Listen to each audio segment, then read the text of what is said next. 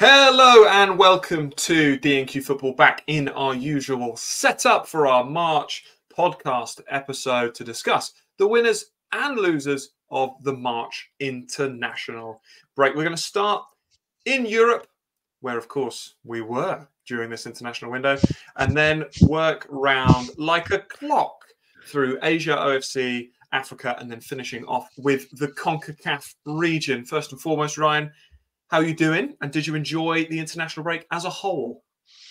I'm doing very well, my friend. Welcome, everyone, back to DNQ. This is. Does this feel bleak's a bit of a harsh word, isn't it? But this feels far more like reality's hit now that we're on a record back here versus when we were in the sunny hills of Serravalle, my friend. Mate, the international break was nothing short of sensational. And I know we we say that, or at least it feels like we say that every time. But this one in particular was amazing, wasn't it? We had a amazing trip. I feel like it's a good place to start in Europe actually, because mm. we can just scroll. I mean, we've we've put out a load of stuff about our trip to San Marino, a number of shorts. You whipped together uh, a wonderful vlog. I actually think, um, I actually think it's probably our best ever video. If I'm being non-biased, sorry, if I'm being completely biased, sorry. Oh. Um, but could we could we even maybe if you haven't already, have a little have a little yeah, look at that. Sure. Can we do that? Yeah, you don't even um, need to stoop down. Yeah. Yeah. Um, we had an amazing time. Let's should we talk about that in Europe before getting on to other stuff? Um, yeah, where where do we want to even start with that? Let's let's let's start exactly there. Let's start in San Marino, of course, as uh, as you've just seen above Ryan there, the link to our travel vlog. I, I would agree. I think it's our uh, one of our best ever videos that we've put out, definitely. Um, probably up there with some of the really cool interviews that we've done. Uh, of course, if you agree or violently disagree, then please feel free to comment. Uh, either way, um, help out that sweet algorithm, baby. Just helps us in the algorithm. Um, and if you haven't already, then like and subscribe. Um, let's start in, in San Marino. yeah. Um, a lot of hype built up, certainly in the UK and maybe online mm. on Twitter and things from even some mainstream media outlets I saw, you know, backing San Marino, trying to sort of end this nearly at the time, nearly um, 20 year winless run. I keep almost wanting to say unbeaten run. It's the complete opposite that. It's uh, it's a run without yeah. a win, which is now because they don't play their next game until June. We will be over 20 years, the longest winless run in Europe of a national team. I don't. I'd be surprised if a club team beats it. Um, but again, let me know in the it's, comments. It's, it's the longest run with a win in international football history, isn't it? I would be really interested to actually see if there is in any sport a longer winless run. Yes, that's a good question. That's a better question. If if you know if anyone is listening to this and knows of something similar, um, in another sport, then please there, there will be there will be some amazing sporting stories similar to this um, across the sporting world. So if you know of a case that is borderline semi-similar to what we're witnessing at the moment with with San Marino on the football field, then please do throw a comment down there. Now, didn't the sweeper throw out something really interesting about a non-FIFA? Oh, was it all? Oh, I can't remember. Um, it was about Alderney or something. There was like a, a cup game and they've not won it since like 1930 or something. Can you remember those tweets? I've definitely. Yeah, they were talking about the Channel Islands. Um, yeah, sort yeah, of yeah, like yeah. competition that's held, and it always ends up with Jersey and Guernsey. I think as the uh, as the final. But, but I don't know is, if they play any other games. No, no, no. Um, but there is um, a team. There is a team um, that haven't won in that for an enormous, an enormous amount of time. Um, I can't find it, but I'm sure someone in the comments will, will correct us. Yeah, no, no, I know. Um, but anyway, no, we were there. We went out there for the first game. As everyone probably knows, but if you don't, we will just do a blitz of a recap. We went out there for the first game. We were joined by some really, really brilliant people. Um, Paul Watson from the Sweeper, as I'm sure you are all aware of, he was joined with his um, by his brother Mark. We um, spent some time with Ellis Platten. We spent some time with the Tim Traveller, all wonderful human beings, and we were extremely grateful to share that experience with them. A few other um, other people as well. Um, but if you're watching, you know who you are, and we had a brilliant time spending that evening uh, and experience with you. Also, thank you so much. Um, the conversation before the game, it was in a, a joint consensus of oh my goodness, please, please just don't make this nil nil tonight. Please yeah. don't make, make this a yeah. stinky, rubbish game and then don't go and then win the game on Sunday when none of us are here. Now, the, from a results side of things, they actually did better on the Sunday, but we went to the better game. We were there. We saw them lose 3 1. We saw them take the lead. We were like, oh my God, we're going to be here for the moment. They That was very, very swiftly taken away. And then the second half, after Panayiotou's goal to make it 3 1 to St Kitts and Nevis, was a little bit dry. However, we then watched. You watched. We weren't together, were we, for the, um, we the second game? But I, we did both watch it. St Kitts and Nevis actually streamed it live on their Facebook, um, which I don't think they were probably allowed to do, but that's how I watched it. And that was a very, very dull nil nil. Um, I think um, San Marino probably should have won the game, really, the chance they had in the first half. But worth caveating for those that don't know, St Kitts and Nevis made three very, very important um, changes to their lineup for that second game. No Tyrese Shade, who was man of the match in the first game, their left winger. The centre back Burley, who plays for Oxford City in the UK, is a very, very um, solid central defender. And he was their most capped player going into that game. He um, didn't play in the second game. And then there was one other change. It was in midfield um, where Kyle Kelly, the really, really young um, Liverpool under 18, started and played quite well. But they they dropped someone from midfield who gave them some strength through the middle. Yeah. I cannot remember. It wasn't who That was. It was the it other wasn't guy. Summersole, yeah. But remember. they did. They had. They had. They did drop. So they were playing a a significantly weaker team in that second leg. Um, St Kitts and, and Nevis and San Marino still couldn't get the win. Um, now, mate, that leads on. Is, uh, just quickly, is there anything else you want to throw out there about that that San Marino trip before we move on to the the rest of Europe and the world beyond? Not particularly. No, not not that we haven't covered already. Yeah, I mean, in, incredible. I think that you know it does beg the question: Will they ever win? As we said at the end of our vlog. Yeah. Um, but yeah, I think that there was a lot of hype around it. Oh, will they win this game? And St Kitts in the first game showed that they were probably, you know, at, at full strength or whatever that first um, eleven was that they put out in mm. the first game. They are definitely a, a stronger side than, yeah. than San Marino. And if if San Marino in that second game can not dominate but deserve to win like they did, and then still still not be able to score, and they still came away with the draw, they still haven't won. Clean it does beg the question: Will it ever happen? Yeah, another clean sheet, great. Oh, tough, tough, tough, tough. But of course, that does kind of move us on in a way to uh, the Nations League. Yeah, it does they play a couple of games in June, San Marino, as, as obviously some of the European teams do. Uh, most of the other teams will be at Euro uh, 2024, which we'll cover a little bit as well uh, on here, just talking about one team that didn't make it. But in terms of the Nations League, San Marino's group is now finalised. Um, they were always going to be playing against Liechtenstein, um, the side that they beat 20 years ago. Uh, but there was a vacant spot, and it was going to be Gibraltar or Lithuania that took that spot, and it was down to a playoff between those two sides, which was played in the March international break, and it kind of went the way that you'd expect. Yeah, yeah, yeah. I mean, Lithuania over the two legs came out on top and and avoided relegation in the relegation playoff, didn't they? So Gibraltar they, they beat Gibraltar one 0 across both games, two 0 um, sort of final score on on aggregate. So that mm-hmm. league mm-hmm. that League D group now looks has has that wonderful lineup of Gibraltar, Liechtenstein, and and San Marino. Um, and I was looking at the fixture obviously because that then kicks off this September. Yeah. And San Marino host Liechtenstein in Serravalle again, don't they? Which will mm-hmm. will be probably oh no no because I think they've got some friend they've got some friendlies in the summer. I was going to say that could well be their first home game since ticking since ticking over the 20 year mark and, and what a fitting way that would be to to potentially break the duck. But that that kind of yeah that that's I've got an enormous eye on that one, mate. So, mm. um, firstly, I will say that, that Gibraltar are a very a, a, solid outfit, and they showed that across the two legs against Lithuania. I think just going off your question, and now that we've had this group confirmed for Nations League, do you think San Marino get a win in that?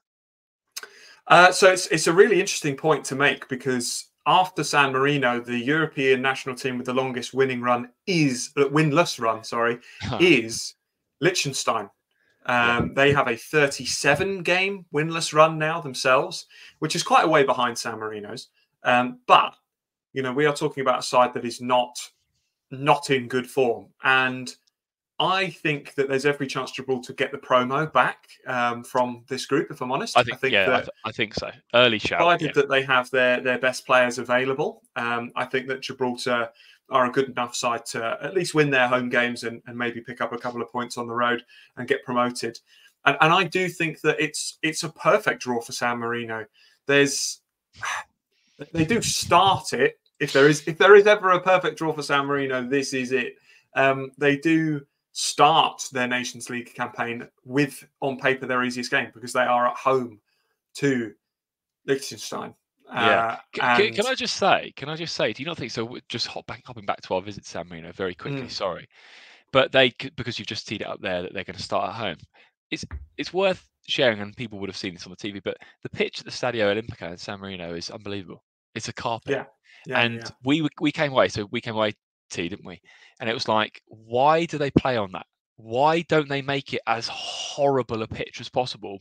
Why don't they make the pitch and a complete leveler? Because San Marino don't knock the ball around; they lump it.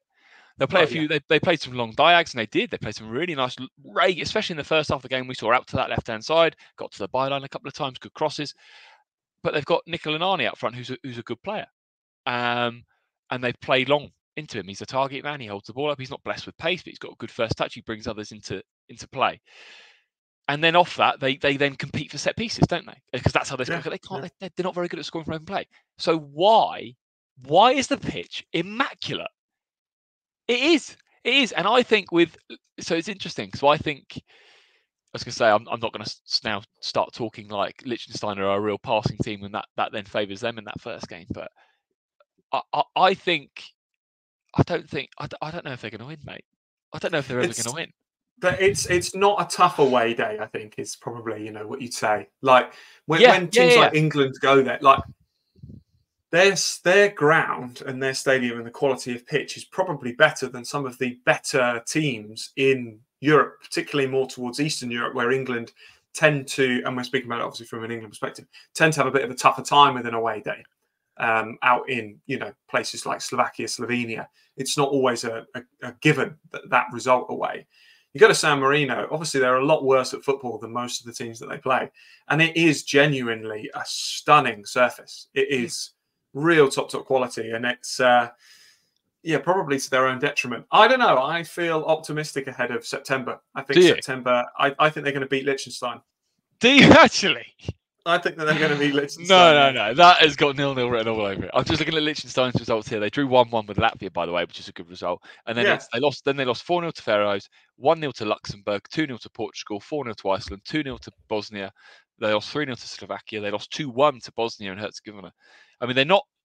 They're you know they're not regular goal scorers. I think that screams nil nil, man. In September, that screams nil nil if San Marino don't win, then you do have to start going, okay, they just need to play someone really at the 200 plus level internationally in a friendly. It was it was interesting, wasn't it? We were talking with with everyone there, and it was like who after they went three one down in the second half, there wasn't a huge amount, was there? So we were sort of talking amongst ourselves about all everything football, and then San Marino in particular because we were there, and the conversation was, well, who would who would they actually beat? And we all were kind of confident that they would beat probably uh, an American Samoa or a Tonga. But that was the only one that we were all like, that would be a 100% San Marino win. And some other lower ranked teams from other regions, CONCACAF, that we're going to talk about a little bit later, we were, oh, they might win that. But it wasn't, yeah. a, it wasn't a given, was it? Um, no, yeah, but that, it, it's great that, that that group has been confirmed. It's a it's a great lineup, the the Gibraltar, Liechtenstein, and, and San Marino group. Gibraltar will be quite liking that. I think they'll go straight back up. But and then we have that amazing potential um, grudge in, match. Yeah, the the big yeah the 2004 um, the winning tie. Can they can they bring that back again in 2024? Amazing, 20 years. Um, let, us move on just quickly. I do want to talk throw some throw some credit now. They're they're ranked probably too high for us to regularly talk about, but the 77th ranked Georgia securing their first ever qualification to a major international footballing tournament with a fantastic win over Greece. Now they beat Luxembourg. Luxembourg were there was a lot of coverage on Luxembourg and the mm-hmm, rise mm-hmm. that, that they have seen across the international stage in the last 10, 15 years, and the fact that they had reached the, the playoffs and they've done very, very well to do so in a tough group with Portugal and, and others in yeah, it. Yeah. Um, they uh, Georgia beat them 2 0. 2 0? It was 2 0, uh, and then they beat uh, Greece on penalties. Yeah. Um, was it pens? It was pens. Sorry, Yeah. I'm, I haven't got any notes on this. I'm kind of going off the top of my bonds. Um, which is incredible. Um, so massive, massive props, massive congratulations to them. Wales lost on penalties to Poland, and Ukraine went through. Mykhailo Mudryk. Um, what a bargain for Chelsea! Ninety true. million pounds, and he's um, he's sent its country through to the uh, to the Euro. So yeah, uh, congratulations to them. Anything else on Europe, my friend, or are we bouncing? Let's let's bounce around, like you say. You know the Euros, uh, which we're looking forward to uh, in a few months' time. Mhm. So that'll be played in June. That's what's coming up next in Europe, uh, and then Nations League kicks off again in September. We will be doing some coverage of the Euros as we did for the World Cup, stuff like uh, preview and who we think is going to win the tournament. But obviously not bucket loads because it is DNQ football. And let's stick to the lower regions of the FIFA World Rankings and let's move on to Asia, the enormous continent that it is. And Asia had a multitude of things going on. We're going to start by talking about um, FIFA World Cup qualification, obviously the big ticket item there, round two, and also then touching on the FIFA series as a whole, um, most Yeah. of which right, were, were covered uh, in Asia, Sri Lanka and Saudi Arabia, and of course there was uh, another one in Algeria as well. But let's start with talking about FIFA World Cup qualification Yeah. um, across the multitude of groups, the nine groups that there were. Just Mm. yeah, loving that, loving the use of that word multitude. How many times have I said it? Have I said it Just Well, twice in a multitude of times? yeah, yeah. a multitude of times recently. Um, I think that the easiest place to start is Group A. Yeah. and we have to start with India. Yes. Well, it was match days three and four, wasn't it? And they played Mm. the and in some groups there were almost um double headers, weren't there? Yeah, It wasn't yeah. consistent. It depends how the fixtures were spat out. Um, but India had ahead of this break, their match days three and four were both against Afghanistan. So an an incredible opportunity to essentially secure the top two, one of the top Yeah. two spots in Group A, and secure their passage through to the third round of um, World Cup qualification and Asian Cup, right? Yeah, you get through. top If you two, yeah, qualify, you're into the uh, AFC Asian Cup as well. Yeah, that's right. Um, and you got to remember, this is an Afghanistan team that has gone through an incredibly challenging period with the. Now, again, you're going to have to correct me on this, mate, but corruption um, within the FA that led to Allegations. of corruption. Sorry, of corruption within it, which led to a massive player revolt Yep. um, and a, and boycott and the change of manager. What and the manager left, right? So they've had a change of manager. Westwood's come in. The, the squad that they've got together now is it's about 70% of them are new players 70 75% Mhm. of them are new players because of the the refusal to play um so they have to say that they are have been up against it would probably be being um particularly particularly sort of kind to, to their situation. Now um going into that afghanistan hadn't claimed a single point in world cup in, in the second round of, of world cup qualification after just scraping through the first round.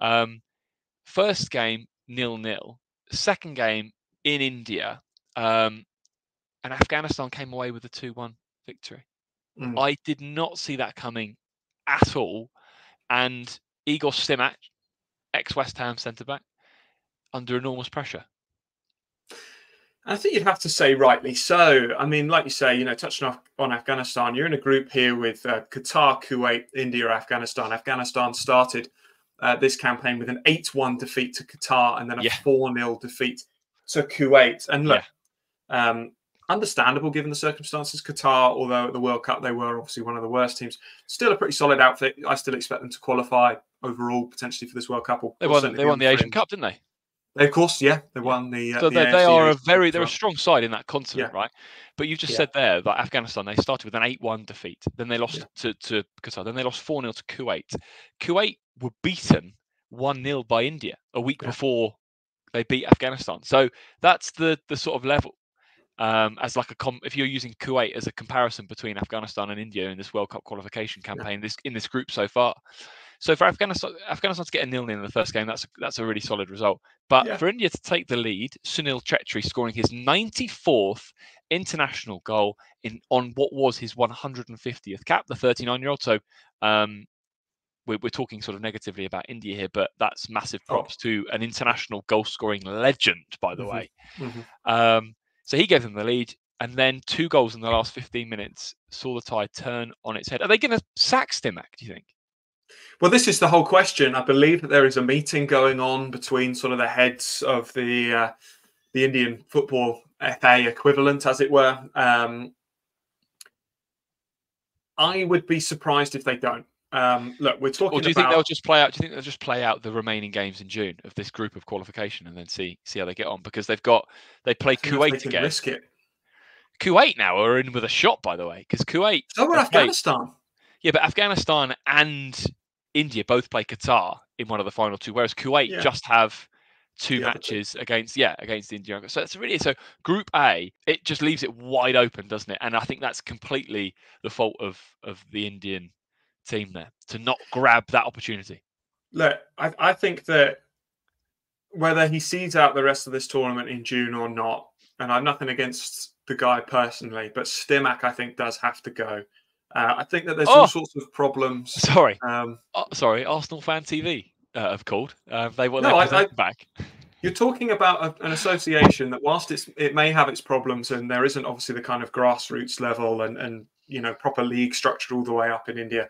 You are talking about a team that basically rigged the games that they would play so that they would uh, leapfrog rigged. Lebanon. Come on, come on. You you stop me with an allegedly. We can't start throwing out rig. They were sneaky with the Lebanon fixtures. They set up games against Lebanon to leapfrog them in the rankings. Yeah, they did. Yeah, which is a completely true statement. Yeah, Same yeah, no, games that were not sanctioned by FIFA through any tournament. They set up tournaments to leapfrog. Now, all right, they did still go and do it mm. by beating them, but they leapfrogged them, got inside the top 100 in the world, so they'd get a better draw. In our preview of this round, we described it as the draw of all draws. I know, I said that. You short, yeah. you've snipped that into a short. So there is a clip of me saying this is the draw of all draws for India. And so the I caption like... of that is, can India qualify for the World oh goodness! That's what hey, we, we try. We like help. We are not in any way a clickbaity couple, are we? A, a well, we try not duo. to be within reason. Yeah, within reason. But that does now look quite clickbaity, doesn't it? After the last, I have to say, they should be beating them across two legs, man. Across two games, man. Like, well, yeah. Can look, India again, qualify? We don't, mean this, we don't mean this disrespectfully to to Afghanistan either. You know, it's, no, it's not course, meant in any other way other than the fact that India they've now dropped actually to 117 in the FIFA World Rankings. Damn. They're really, they're dropping like a stone. Did you hear my voice? Damn, damn, damn. I did not but, know, know that. They, they, really are plummeting, and that's before this international break. Uh, and of course, Afghanistan. You know, I don't know off the top of my head where Afghanistan are, but you know, sufficiently low enough in the rankings that that will hammer India even further in terms Hold of the FIFA World rankings. I can um, I believe it's around 170, but it might be higher. They are 158. Oh, 158, so a bit higher, right? So they are a bit higher, but that's still a, a, big difference. And, and India, with a draw and a defeat there, will will drop even lower. And mm. basically, the trajectory that, that the India national team is on, you know, if they don't, don't forget, if they don't get out of this group, if they don't come top two, that means they're not guaranteed, you know, AFC Asian Cup qualification. They then have to go through the other route of that. And I just think it it really bucks the trend of what a lot of people hoped would be kind of reaching a peak in Indian football. You know, the expanded World Cup, a real chance for them to be one of the fringe teams that maybe, maybe yeah. qualified. Yeah, yeah, you know, um, I look, agree. you still have your Japans, your South Koreas, your Irans, you, you know, and, and Australia, Saudi. You know, it's still a stacked region in terms of the top teams. But India were one of those teams before this tournament that you thought, okay, they're a fringe side.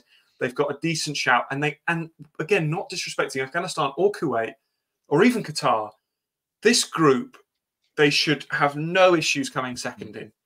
And I do think that I understand the frustrations of the the Indian football fans, and I think that you know we're going to move on to talk about some of the other teams and and, and Vietnam who had a similar situation. They sacked their manager immediately um, mm. in this international break, and I would be surprised if Stimac um, does stay. And if he does yeah. stay, then um, I don't see him getting past June. No, wow, Stimac out. You heard it here from Tom first. Um, India fan TV. Do you wow. agree? Do you agree? Is you the agree? question. Uh, just worth noting, they are. They're tied with Guinea-Bissau as the biggest droppers in FIFA World Rankings this year. Um, Fifteen places that they've dropped already, which is which is interesting. Um, yeah. So sorry, actually, can we just move on quickly? You mentioned Vietnam there, but I do want to talk about another another double header quickly hmm. because mm. I think also Malaysia's international break yeah. was massively damaged by the double header that they had against sure. Oman. Um, they were shaping up they had played 2 1 2 from their first um, two matches. Uh, they beat Kyrgyzstan in a thriller 4 3 in November.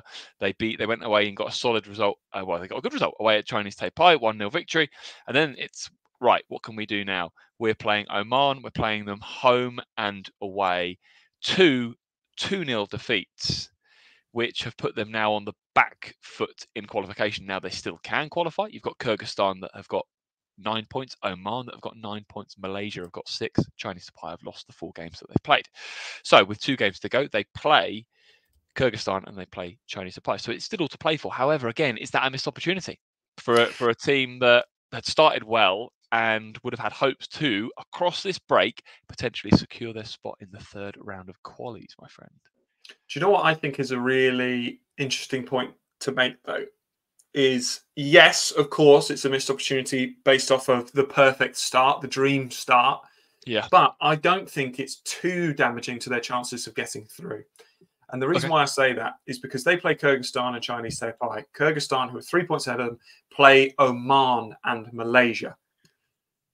And therefore, Kyrgyzstan, despite being currently top of the group, do it's up to them. If Malaysia can, because you'd expect Malaysia to beat Chinese Taipei, who've played four, lost four, conceded 11 in that time, and only scored one in return. You would expect Malaysia to beat them. Uh, and then I think it basically, this group, whoever goes through second, will be decided, um, certainly in a large part, by that Kyrgyzstan Malaysia game. Now, they do need Oman to do them a favour, of course. A draw in that game just really kind of hurts Malaysia's chances to come in top two because then they'd have to beat Kyrgyzstan. But it's disappointing that they came away with two defeats, even just a draw to be chucked mm-hmm. in there, so they'd be on level points with Oman going into the the final sort of month, as it were, in November. June. Of course. Sorry, June. Oh yeah, they they played in June. The rest of this tournament, the next round starts um, in September, I think. Actually, um, I don't know where I got November from, but uh, yeah, it does hurt their chances. Of course, it does. But they've just got to beat Kyrgyzstan, and then they've got a real good chance of going through still, or not lose.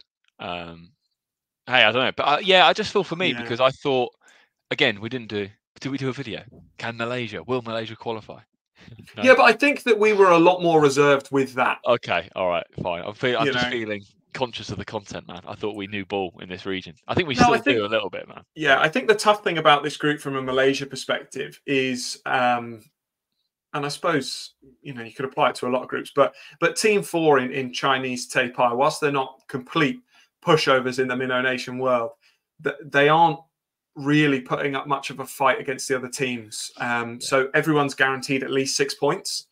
Uh, not guaranteed, but it's highly likely that every I know what you mean. Yeah, yeah. Points. They're, they're, not. They're, they're not, not sort of taking points off. They're not taking points off, are they? No. no. We, will see. We will see with Malaysia. Now, can we go to Vietnam? Because I don't think I didn't know about the manager being sacked, mate. What? He got so sacked he immediately after the second game. So talk us through that then. Well, Indonesia are a side that we've tracked for a little bit of a while um, now because we quite like the way that they play. I'm a big fan of uh, Shin Tae-yong, who's their manager, and the way that he's got them set up. They played against Curacao a little while ago and beat them. They played against Argentina, and it was a close game. And they're just really sort of going from strength to strength as one of these ASEAN teams. They've also um, tapped into players that are eligible to play for them. So players like Jordi Amat, um, Elkan Baggott as well, you know, players that can represent Indonesia and, and, are now doing so. So they have a strong team. But going into this double header that they played, it was a little bit like a shootout for for who basically was going through. And if you look at um, Vietnam's results in match day one and two uh, of this sort of World Cup qualification second round. Um, beat the Philippines 2 0, which was a really yeah. good start. And then they only lost to Iraq in the last sort of the 97th minute. Yeah. So that was un, that was an unlucky defeat. So uh, Indonesia at the same breath, they'd drawn with the Philippines yeah. and lost 5 1 to Iraq. So they exactly. were coming into this in, in completely different forms. And this was a real opportunity for Vietnam to take take qualification by the scruff of the neck by getting four points out of two against um, against Indonesia, but they lost both, mate. I, yeah, and I mean, you know, really not expecting worse. Philippines, obviously, they had a double legger against Iraq, and, and semi unsurprisingly, due to the strength of, of, Iraq, lost both. So they're now out, and Iraq are, are, are, through. And I think a lot of people were expecting maybe not the same, but certainly similar from a Vietnam Indonesia perspective. You got to think even if even if Vietnam had won one of those games and lost the other, they'd still be they'd be two points clear um, going into the the final qualification match days of Indonesia. They lost both, and now they're in a position where they're four points behind um, Indonesia with with those two games to go. And of course, Indonesia will hope to do a little bit better when they play against the Philippines on the final match day. They do play Iraq first, but it will be huge because you know if you assume, which you can never do in international football, that um, Philippines unfortunately lose to Vietnam, there will just be a point between the two teams. But Vietnam will have to play Iraq, and Indonesia will play Philippines. So from an Indi- uh, from a Vietnam perspective, and don't forget how well they did last time, getting through to round three and, and mm. really challenging there in World Cup qualification. They've seemingly taken a huge backward step against another ASEAN side who they play and beat quite a lot yeah. in uh, in sort of Mitsubishi Electric Cups, and the manager immediately sacked for Vietnam. So an yeah. awful, awful international break for them. Really, really, really, really challenging. I want to just touch on a couple of others, mate, just before we move on. I'm aware of, of the time that we're spending on this. So, um, really rough um, couple of weeks for Pakistan with some heavy, heavy defeats 7 0 away at Jordan and a 3 0 home defeat to Jordan. The um, the first game, they recovered well after being two down inside 10 minutes. Um, only lost that one 3 0. The away game, 7 0 is particularly tough. I'm sure their manager, Constantine, will be would have been pretty displeased with that one. They will hope for for better. Doesn't get much easier for them though. They play Saudi Arabia at home in Islamabad, which I'm sure will be an amazing atmosphere. So let's hope that they can pull off something quite sensational, or at least enjoy that moment for what it is, which is a huge game against a, uh, a really, really strong footballing nation. Uh, and then they are away um, to Tajikistan to um, round out their final, what will be their final match of World Cup qualification. They've done really, really well to get there. Um, so let's hope the last two games they can um, go out with a little bit of strength shown. And then my last one, mate, is uh, just just a quick touch on the the Palestine um, performances so far. Um, they beat Bangladesh 5 0. That was an incredibly impressive victory. And then a 1 0 victory away. They played Bangladesh across a double header. They beat them 5 0 at home and then 1 0 away. Um, of course, when we say at home, they are playing Kuwait at the moment um, for the issues that, that, everyone seems to know about. So um, the the circumstances and, and, the backdrop to their World Cup qualification campaign is, um, yeah, uh, something that everyone knows about. So we're not going to divulge, but um, an, a really really impressive two victories for them against uh, Bangladesh, which with two matches to go leaves them five clear of Lebanon. Uh, in Group I, so it looks likely that they will make it through to the third round of World Cup qualification. Um, mate, where do we want to move on to now? Do we want to quickly touch on Oceania? Wasn't an enormous amount, some friendlies um, amongst the likes of Fiji and the Solomon Islands. The main bit of chat was OFC Nations Cup qualification, which kind of went the way that we thought it would. Yeah, so um, like you say, a couple of friendlies between Fiji and Solomon Islands, which is always great to see they're playing each other a little bit more. But the main sort of the big ticket item for the March international break was the OFC Nations Cup qualification uh, group uh, yeah. which just consisted of uh, three teams in this one. Um, American Samoa not taking part uh, in the qualification. Do we know held... why? No. Didn't fancy it. No, didn't fancy it. Uh, maybe off the back of their heavy defeats, Absolute they probably decided it. Yeah. yeah. in the in the Pacific Games, maybe they decided it wasn't the best shout. Uh, but we it was hosted in Tonga, which again was great to see. Let's not forget that the last uh, lot of World Cup qualifiers Tonga weren't able to participate in because of the natural disasters in the area. So great to see Tonga hosting a tournament uh, that consisted of themselves, Cook Islands, and Samoa. Um, pre-tournament sort of predictions from a lot of people would have been in alignment with the way that it went. Um, Samoa, of course, did fantastically well at the Pacific Games and showed that they are a lot stronger than some of the other sides uh, further down there. Um, and Samoa went through. They they won their first two games. Uh, they beat uh, Tonga four one, and then the Cook Islands one 0 which again is not a bad showing from either um, Cook Islands or Tonga. Actually, no, I agree. In all due respect. Um, and then Cook Islands played Tonga on the 26th of March, the final game. It did sadly mean nothing because qualification was already done, with Samoa going through to the tournament played in June. But the Cook Islands did win that 1 0 and yes. will now look ahead. Um, Con- uh, Conga. Um, Cook Islands and Tonga. Sorry, Sorry. I was trying to say both at the same time. And Conga will be a surprise yeah. entrance to the yeah. OFC Nations Cup. yeah. Uh, so Samoa will play, uh, trying to combine all three. Samoa will play Nations Cup in June, uh, which we'll be covering, and of course that will be absolutely fantastic.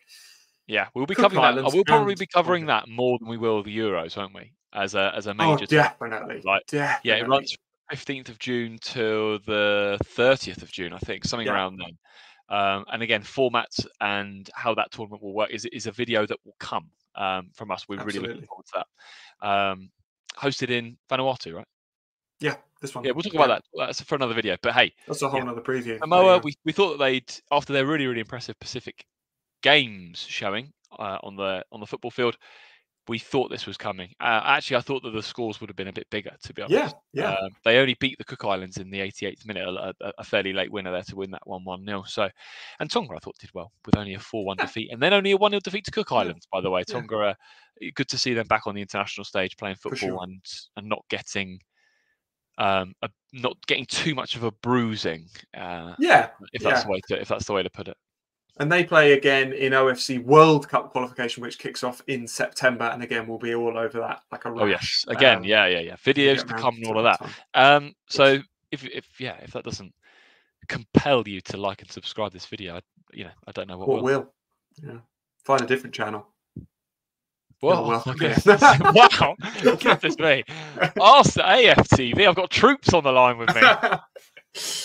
Shall we move on? Um, going round the globe as we are to the continent of Africa and AFCON um, preliminary round double leggers took place in the March international break uh, on the yes, 20th sir. and 26th, or some games are on the 22nd and 26th of the month. The matchups Somalia, Eswatini, Djibouti, Liberia, Chad, Mauritius, and Sao Tome e Principe, and South Sudan. Now, we did nice. our full preview video of that. Um, we got most of the we pre- predickies right, didn't we? Barring a sensational Chad victory. I think we called yeah. the right. I, thought, I think we called the teams to go through, didn't we? We called Eswatini. We thought it'd be closer.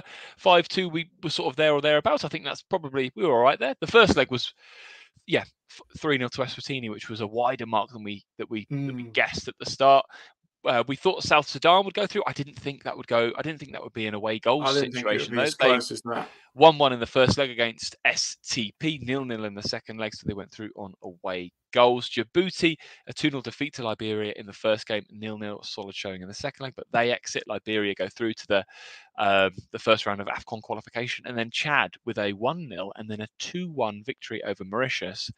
A fantastic result for them.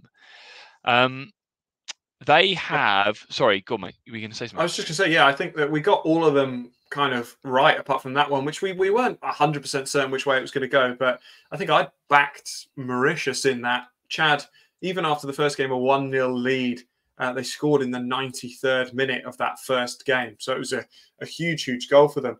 But then when they played against Mauritius at half time, it was 1 0 to Mauritius, making it 1 0 overall and no one going through on, on away goals. Um, and actually, I've just picked up on something. So Chad then scored to go 2 1 up, right? One all in the second game, 2 1 up. Right. They then scored again on the 90th minute, right? Okay. Last last kick of the game. It was the goalie went forward, didn't he? Yeah. Yeah. Why? Because Mauritius, even if they'd have scored, would have gone out on away goals. So why did the keeper go up? Because even if he'd have scored, they'd have gone hey, out. They might have, hey, yeah, but there might have been another minute or so to play, and it's right. Okay, it's it's, it's just the last throw of the dice, isn't it? I guess. I guess so, but yeah, um, a, a brilliantly hilarious counter attacking goal where the keeper almost almost gets to the the ball that was struck from just in, just sort of inside the Mauritius half. Yeah. Um, and sees Chad through in the celebrations on the streets of Chad. I don't know if you've seen any of those videos, fireworks and everything going off. Were Absolutely they? fantastic scenes. Yeah, it's, was, it's sensational. Um, I was looking at sort of Chad's sort of AFCON qualification history. Uh, they've never obviously qualified for AFCON. You know, I'd be it would be in a God, wouldn't it be sensational? Oh, that somehow, I mean, that yeah. would be unbelievable, wouldn't it? But in 2020, so in 2023, they exited at the, the preliminary stage, and then for the 2021 tournament, they got through, um, but they were disqualified because the government disbanded the Chad Football Association. So then, CAF um, disqualified them from qualifying. And then for 2019, they were banned, and they were banned for qualifying for 2019 because in 2017 they withdrew. They, so they've gone 2017 they withdrew, 2019 they were banned, 2021 they were disqualified, and then 2023 they didn't qualify. They went out in the prelim. So this will be the first time. This the 2025 Afcon qualification campaign will be the first time that Chad are are giving a are sort of having a proper Afcon qualification that's beyond the um, the preliminary round the first time since 2012 where they yeah. um, played eight matches as part of their qualification campaign. But yeah, what a yeah a mad little bit of um, of digging there. That, that, yeah, and look, a phenomenal result for them, and they'll have to wait until they haven't September. Drawn, they haven't drawn it yet, have they? No, it's not been drawn. No, and I've also not seen a date for the draw either. So again, something will be all over. But yeah, it's September is we know that that's when the first um, sort of formal qualification round takes place um, for yeah. AFCON 2025. But absolutely fantastic. Well, congratulations, obviously, to all the sides that have gone through, but particularly um, to to Chad in the fantastic way that they did it, getting past Mauritius. Yes, sensational. Now, actually, before we do anything else, do we want to touch on FIFA Series stuff quickly? I think people yeah. spoke about it quite a lot. There was a lot of chat around it. The access to those games was brilliant, by the way. Worth worth throwing that out there. FIFA Plus was pretty decent, wasn't it? Sign up, watch the games. We were watching them on your laptop in in Italy. Yeah. Um, quality of their games good. The fixtures to see these teams to see some of these sides play against each other was brilliant. We watched that Guyana Cape Verde game was a very very good game where I think Cape Verde for the first ten minutes yeah, just randomly going at this because we sat there and watched that whole game, didn't we? Cape Verde mm-hmm. were very impressive for the first 10 minutes, but Guyana got stronger and stronger and stronger and stronger and actually could have earned themselves a draw late on. Um, Quillan Roberts for Guyana in goal, by the way. Oh, what a player. What a mm. player. Um, and um, was it, oh, God, sorry, man, I don't know. Was it Bhutan or, or Brunei that beat um, Vanuatu? Uh, that's such a good question. Um, it was Brunei, right? Uh, it was because Brunei. Great Sri shout. Lanka yeah. beat Bhutan. Yeah, looking at it now. Um, Hakimi with a 94th minute winner yeah. for Brunei. We do not condone gambling on this channel at all, but However. I did put five pound on Brunei to win that, which won me forty-five pound. So thank you, Skybet. That basically paid for our night in San Marino. uh, yeah, um, anything else on the FIFA series? Do we want to talk about it? Some cool games, some some good wins. Um, I uh, actually, uh, anyone, any particular? Do you want to talk about any any players, any teams? What do you want to do? Sorry, man. I do. I, I want to shout out a couple of players. Obviously, uh, Dylan De Silva, star boy in Sri Lanka. We've been to see him play uh, in Conference South for Torquay. He no longer plays there; he plays for Wealdstone. He's doing well there, which is great to see uh, going out. The tournament held in Sri Lanka, which was, yes. you know, you had a couple in Saudi, which is really kind of established as a place where you can play lots of football matches. And of course, they're, they're having the World Cup in about 10 years' time. Um, but Sri Lanka, who have only sort of recently had a few tournaments that they've um, hosted in in Colombo. Great to see them doing it. The crowds looked great, and there was a real good atmosphere at those games. And congratulations to to Dylan De Silva on uh, on scoring in that great win that they had.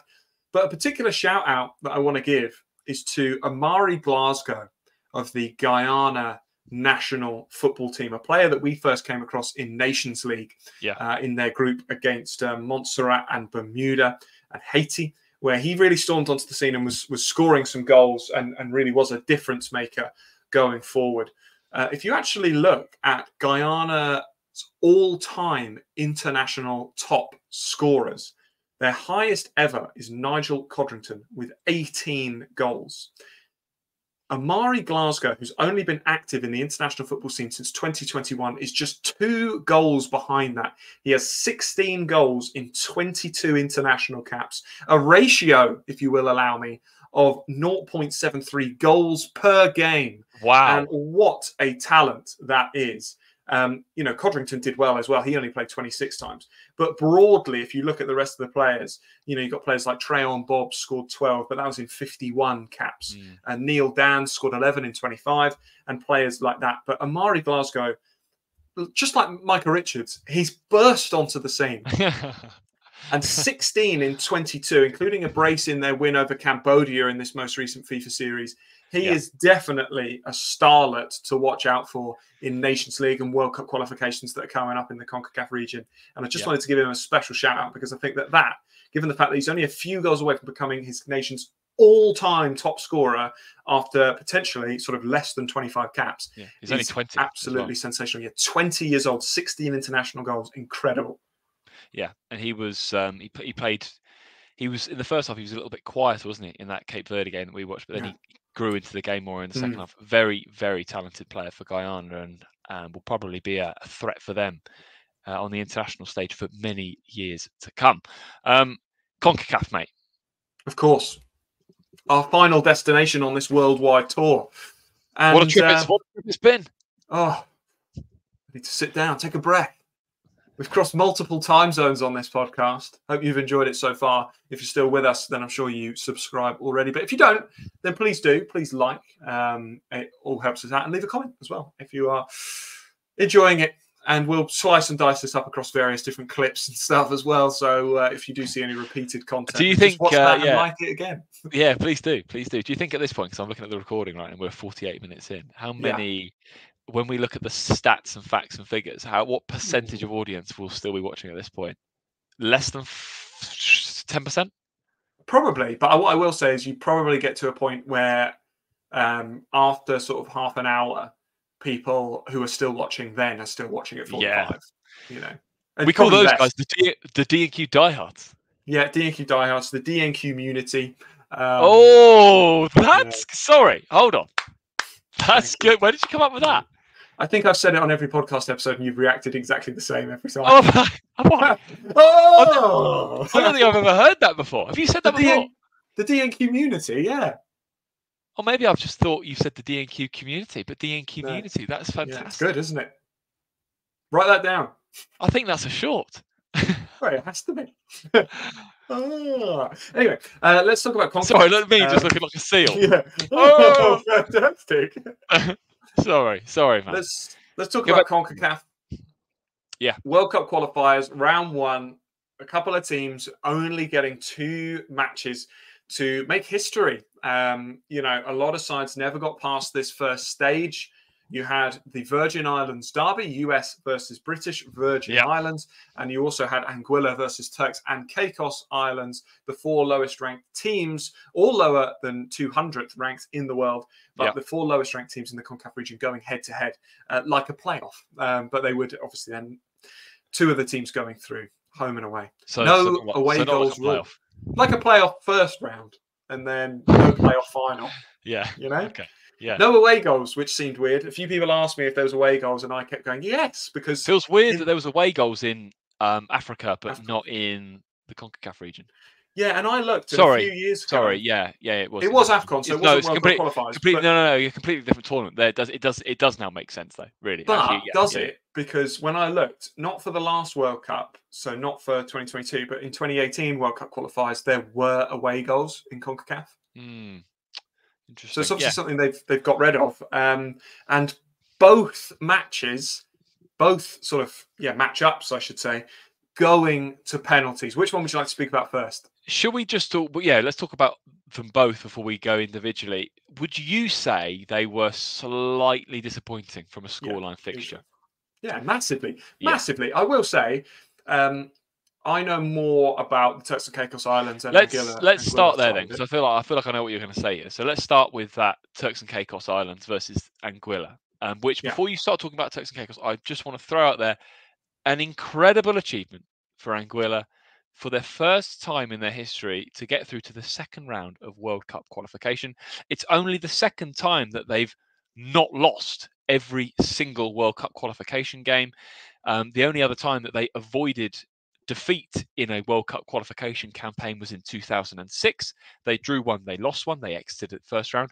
They drew nil nil with the Dominican Republic, quite incredibly. In the first leg in 2004, they then lost 6 0 in the second leg. Um, so they now, after the, the victory over Turks and Caicos Islands, and I we'll, we'll talk about it in a bit more detail. They go into a group containing El Salvador, ranked 81st, Suriname, ranked 144, Puerto Rico, ranked 160, and St. Vincent and the Grenadines, ranked 173. An amazing achievement for the team ranked 209th in the FIFA World Rankings, mate.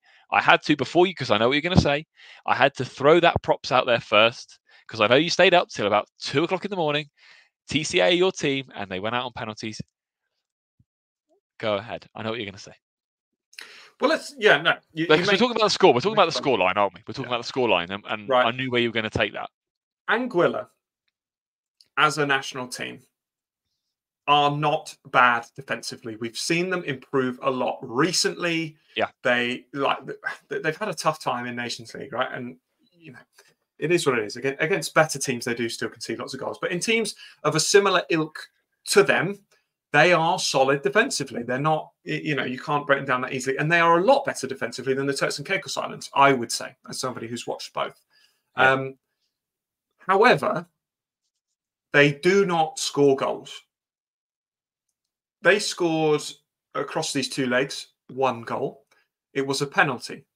They've only ever scored, including this one, three goals in World Cup qualification in their entire history. All three have been penalties. Wow, have they? Good stat. You've outstatted me there. Fair play. I don't know if I have. All three have been penalties, 20 years apart as well, you know, since their most recent sort of goal. So similar to a sort of San Marino time difference uh, in terms of the, the penalty goals. Uh, Luke Paris scoring this one. In the first leg against and Islands, they also missed a penalty, which is Mm. also important to throw out. So penalties, seemingly their favourite way of scoring goals. The emphasis was always going to be on the Turks and Caicos Islands to win this game by outscoring Anguilla you had a good attack in Turks and Caicos Islands against an okay defence, and then a poor attack against what I deem to be generally quite a poor defence with the Turks and Caicos Islands, despite a good goalkeeper uh, in Turpeyfield. I'm really disappointed that these games were so low scoring that the Turks and Caicos Islands weren't able to threaten a bit more. They also had a penalty saved in the second leg. Um, Really? after they were 1 0 up and then missed a penalty um, before the equaliser came, which is gutting. Um, I'm just gutted, man. Really, They, I- I- just, yeah, but we we looked. We didn't know anything about the squad. Turks and Caicos Islands seem to be one of the only national teams that basically have no online or media presence at all. So you don't know what their squad is until they release the lineup five hours before kickoff, and then in doing so, yeah, and then in doing so, basically announced that the under 18s are playing plus Billy Forbes. They've got no no one no one. They've got plenty of good players, but they just don't ever play. It's so I'm not weird. gonna. It's I'm not gonna go bizarre. full full rant for views. Oh no, AFT. Oh, I'm Troops not, is back. AFTV's troops is back. I, I've got to say, in a in a Anguilla deserve to go through because of their football project. Yeah, That's what I think is a fair thing to say. British Virgin Islands are doing it. Where I know we're going to get onto the Virgin Islands derby. You have a, Yeah. a number of teams at the real bottom end of the world rankings, and I don't mean that in any disrespectful way. That's just a fact. Who are trying? They're setting up their social media the way, presence. the way you said that then was was was quite funny. They're trying. No, but they are. No, but they I are actively I, I get trying. you. I get you. They have a social media presence, Anguilla in particular. You know, there's lots of people that we follow on Twitter. You know, Surprise Shirts are involved with Uprising FC, Gareth's Football Writings involved. There Yeah. are others as well. Um, they are really putting in a lot of effort and trying to make it a thing and trying to build UK up a bit of a following. UK training camps. They've Yeah. tried to, to find potential Who- players that yeah, have who can play for heritage, them, who have heritage from there. Yeah. And and you look at it and you think, fair play. They're giving it a real, real good go, and they're trying. And you've seen the improvement, and they deserve it because of this. Yeah, I completely agree, mate. The, the improvement is tangible. You can see it. Yeah. They're making history on the international stage. And and it's so disappointing as somebody who follows Turks and Caicos Islands. I was, I will say, on Twitter at two o'clock in the morning UK time, watching, um, trying to find out how the sort of goals were going in, and I felt like I was the only one not supporting Anguilla. Um, Yeah, I think which- you were which. Um, Yeah. But equally, the fact that I had to go onto Anguilla's Facebook page to find out what was happening in a game in the Turks and Caicos Islands, Mm. They, they seem to have no project. They've had three managers in the last year. It's just, it's really not a good time. And, and I think that Turks and Caicos Islands, I love them to pieces. Billy Forbes is really getting on now, and I hope that he does one more World Cup qualification campaign. They are getting close to, in my opinion, probably being the worst team in the world. Yeah, I think so. It's a shame. Uh, It is a real shame. It's a shame, but massive congratulations, as we've said already, to Anguilla. Yeah, uh, for sure. I cannot wait for them in in round two. They've got some amazing Yeah, fixtures to look forward to. Um, onto the Virgin Islands derby, which was massive. Um, yeah, the first time that these sides had met since this stage at World Cup qualification 14 years ago. I'm pretty certain that those Yeah, were the facts. Yeah, yeah. USVI came out on top in that one. That was for 2014 World Cup qualification. They met again, two legs, 1 1 in the first leg. USVI took the lead. Then 98th minute equaliser for the British Virgin Islands. Tom and I were actually travelling back from Stansted Airport at God knows what time following that one. I think it was about half 10, and I kept refreshing my Twitter feed as we were sort of approaching home. Um, Second leg, US Virgin Islands went down to 10 men, cagey, tense, um, but were able to see it through to penalties, and the British Virgin Islands came out on top. An amazing stat that despite progressing, the British Virgin Islands have still never won a single World Cup qualification football match. It is, however, the first time again, similar to Anguilla, that they have ever got past the first round of World Cup qualification. So a massive, massive shout out to their project, what the British Virgin Islands are doing, what they're doing with um, technical director Danny Neville, with Champion Football, with Chris Kiwomya in charge, with the players that they've got that are playing in uh, America, the Caribbean, and in the UK. Um, that is bearing fruit, and they still have an incredibly young squad that will only get better. So I will say, just just quick note, I did think they would actually beat them over the two Yeah. legs. Um, that would be my only caveat. Um, and I was surprised actually because the US Virgin Islands hadn't had a good Nations League campaign, and they'd lost to the Turks and Caicos Islands, hadn't they? I was very surprised. But what I will say is, World Cup qualification, you do other players, random players, sort of not random players, but suddenly players that that haven't represented nations before will will appear and and and don the shirt. British Virgin Islands had the Shrewsbury under 21s goalkeeper suddenly that that was then in in goal for them, made making his debut. Um, but no, but I'm, I'm I'm as a BVI fan, I'm really really pleased um, that they've made it through, and they will now take on Dominica, Domrep, Jamaica, and Guatemala. So who do you think's got a better group there, Anguilla or the British Virgin. Islands? Uh, d- define better. I think the British Virgin Islands will have more, you know, fantastic away days. They're, they're both going to go out. So w- define better. Anguilla's is easier um, on paper, I think. But I think that BVI will potentially gain sort of more experience. Yeah, I think so. I think what's nice, they've got the game against Dominica as well as a potential Yeah. to to, to get a point or three in, in round two. That would be amazing. A Jamaica away day would be great, wouldn't it? Jerry Wiltshire trying to man mark uh, Michael Antonio Antonio, would be uh, would be if something. fit for it, by the way. Yeah, yeah, yeah. Hey, um, he's played second leg and, and they got through, so done well. But yeah, amazing. Sure. So, a massive, massive congratulations to both Anguilla and British Virgin Islands for making history this March. Where do you want to go now, mate? Is that is that or is that the perfect end to to this chat? We're over an hour. Dang, we can talk. We can. We'll be. I think after edits will be just under an hour. Um, Okay.